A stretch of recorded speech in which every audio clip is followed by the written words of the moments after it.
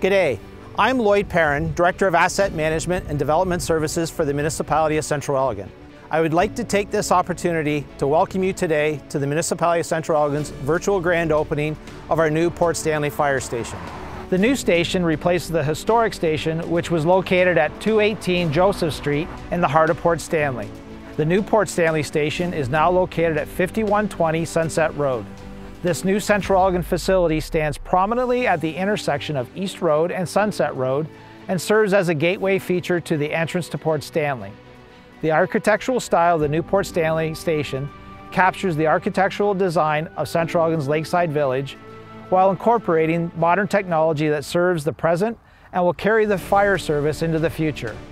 With financial support from the Federation of Canadian Municipalities Green Municipal Fund as well as partial funding from development charges realized from new growth, this facility will accommodate the community's emergency services needs for generations to come. This structure supports Council in achieving one of the municipality's strategic goals of being both environmentally and financially sustainable. This new 8,300 square foot state of the art station is environmentally friendly in every way and was built with the purpose of decreasing the municipality's environmental footprint.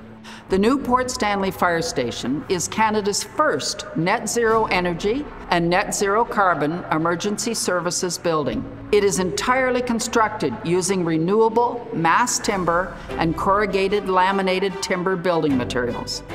The building's heating and cooling are provided by environmentally sustainable, ground source geothermal energy.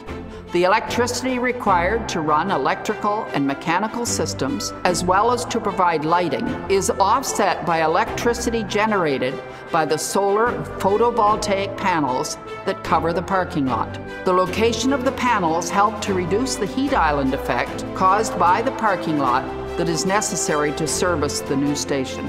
Tall grass prairie grasses are used to landscape the parking area and remnant property. This tall grass prairie, once established, will provide habitat for birds, butterflies, and other pollinators.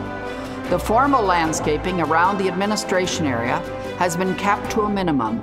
Plantings require minimal maintenance and irrigation, therefore protecting and preserving our water resources.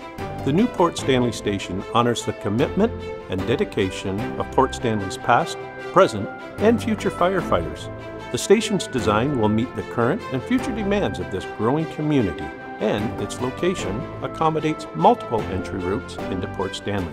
This station will not only be the fire station and home of roughly 25 dedicated volunteer firefighters, but it will also be one of the municipality's emergency operations center in the event of a large-scale emergency in the municipality. The new station, built with standby power and cutting-edge information technology and building systems, will provide a location for municipal staff and other agencies to manage a catastrophic event that requires coordination between fire, police, ambulance, and other social services.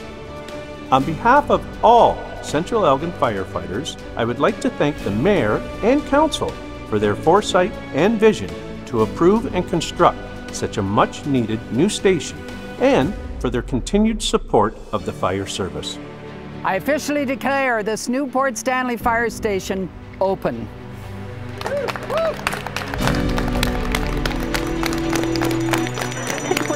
Respond to 184 Emery Street for carbon monoxide alarm sounding at 21.